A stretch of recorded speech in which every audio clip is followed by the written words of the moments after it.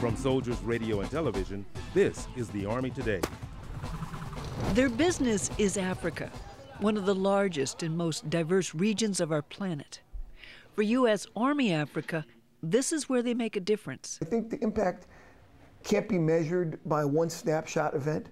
The impact is measured over time. Colonel Timothy Mitchell has spent most of his Army career focused on Africa.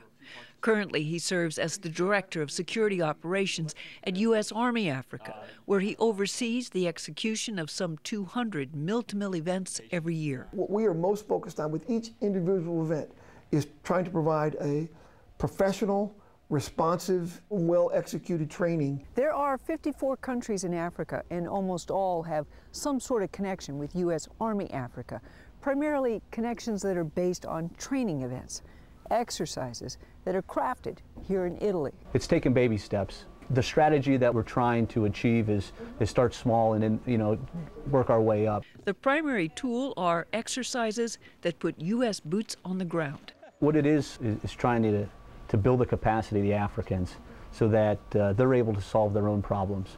Here in the hills of Italy, bilateral and multinational training events are shaped, integrating both U.S. and African requirements and objectives.